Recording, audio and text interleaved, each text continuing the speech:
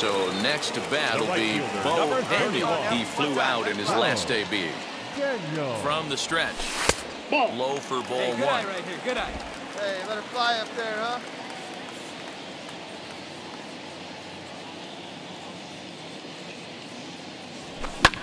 Fouled off.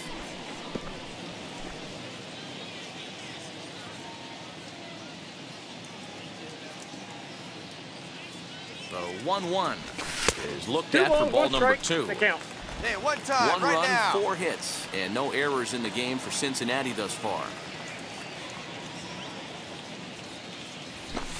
He's Nope. fallen behind That's now, three and One one. better.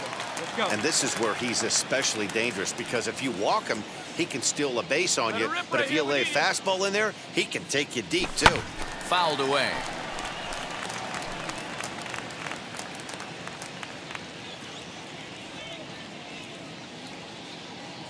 Now the three and two pitch. Swing and a shot toward right center. And this is into the alley and ought to be good for extra bases.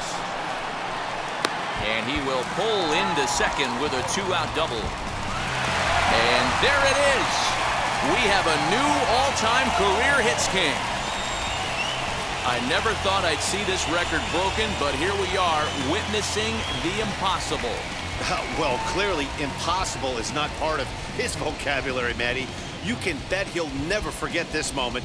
Neither will we. Breaking a record as iconic as this one requires durability, perseverance, luck, and a ton of ability. He's beyond earned his spot among the baseball immortals. What an incredible moment in history to watch. This is awesome.